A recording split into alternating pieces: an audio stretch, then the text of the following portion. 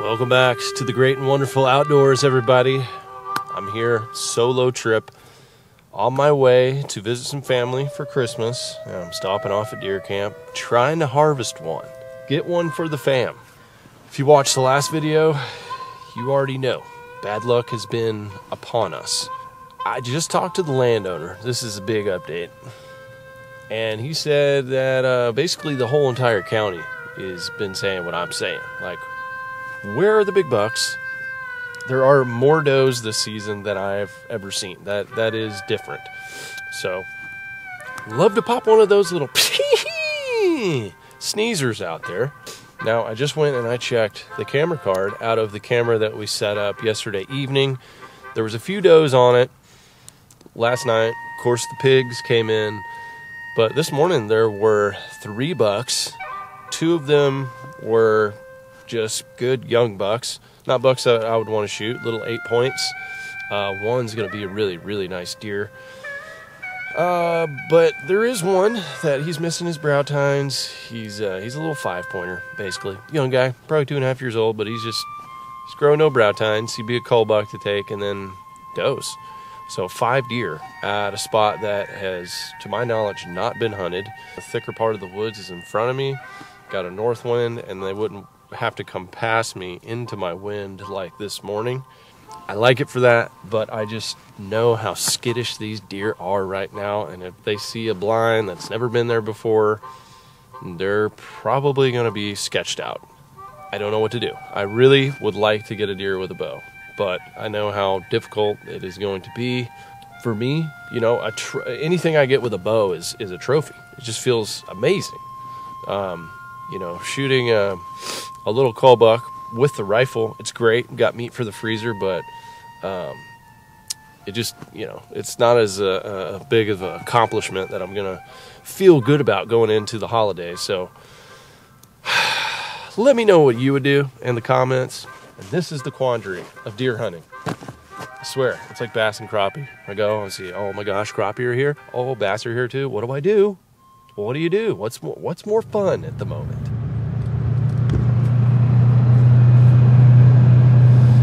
Right now, I'm still leaning towards going with a bow and setting up a pop up where I saw the bucks on the camera, and also setting up one of these green lights to get some hogs after dark.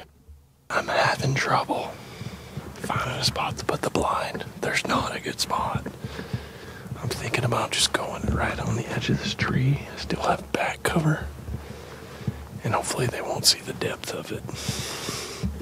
It's either that or I come all the way out here to 40 yards and set up in this cedar right here. And even then, we still don't have a great shot. That's a far bow shot. It is 310 and it's about time to head out, y'all. I'm going to the bow blind, the blind that I just set up. I mean, how could I not? I spent all that time working on the hog light and the blind. And so I, I feel like we'll at least get a chance at a hog. Uh, I hope that light has gotten enough solar energy to, to turn on. That'd be another thing that just wouldn't work, but stay positive. And we got the opportunity on a doe. Or hopefully this cull buck comes in. Hopefully the giant of Central Texas comes in, but you know, we're keeping expectations pretty real. I did manage to find a shed when I was looking for brush to cover up the blind. And I, I did a pretty good job covering it in. It's just going to be something new, something new they haven't seen before. They're going to feel a little off. I just, I just know it. Oh, good Lord. May there be deer movement tonight. Please give us an acceptable deer to walk 20 yards to my little corn pile. If not, we will accept the bacon just as well. Amen. Let's get done.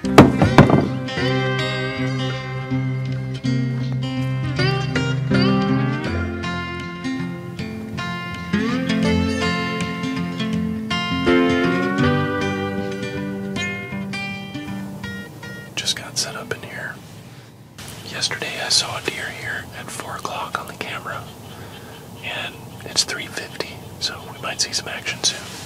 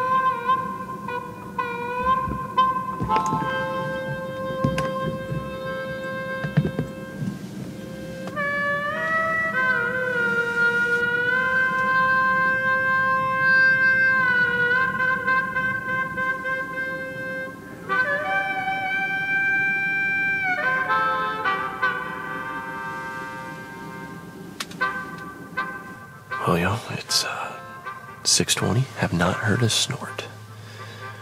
So I don't think the pigs are gonna come in until I leave. It's like the, the animals. They just know. They just know, don't they? I think it's just next to impossible to get a deer with a bow out here right now. I swear I saw something tonight that I've never seen before. That, that little spike, he kept wanting to come in and he'd get a little sketched out and he'd go away. And right there, right before dark, I saw a bigger buck back there that like like nudged him, like go back out there, uh, like you're gonna be the the fall guy, okay?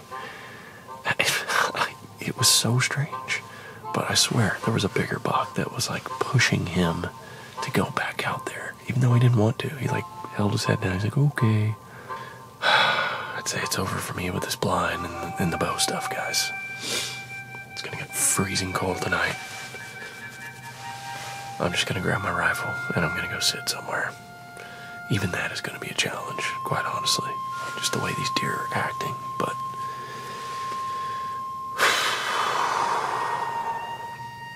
Such is the hunt.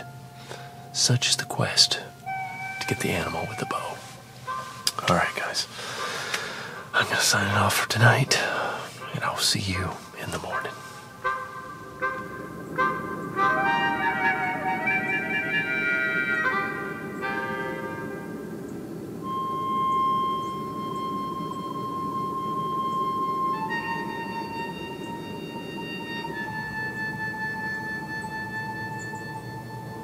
So it's just now starting to get cold.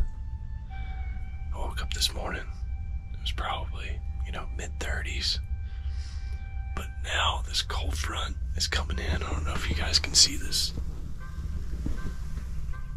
There's this difference in clouds out here. You can, there it is. That front is coming in, and you can feel the crisp air.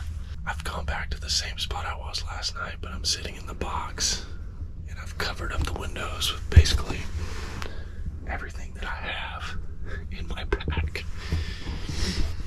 And I've got the rifle sitting right here, so 308 is out and ready. But I think this is going to be one of those days to sit all day. Unfortunately, I've got to leave here in a little while, but I'm hoping that this cold air that I feel right now coming in is going to motivate some deer to get up.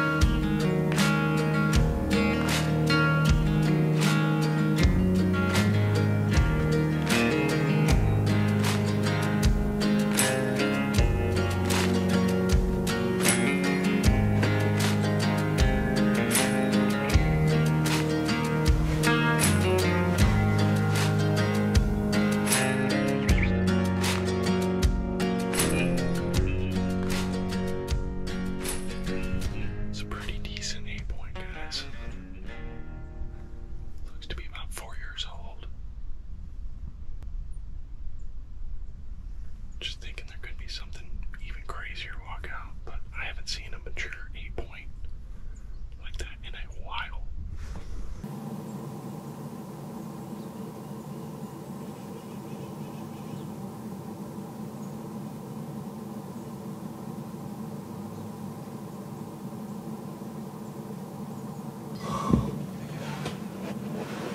This is gorgeous. Smash the like button. This is gorgeous.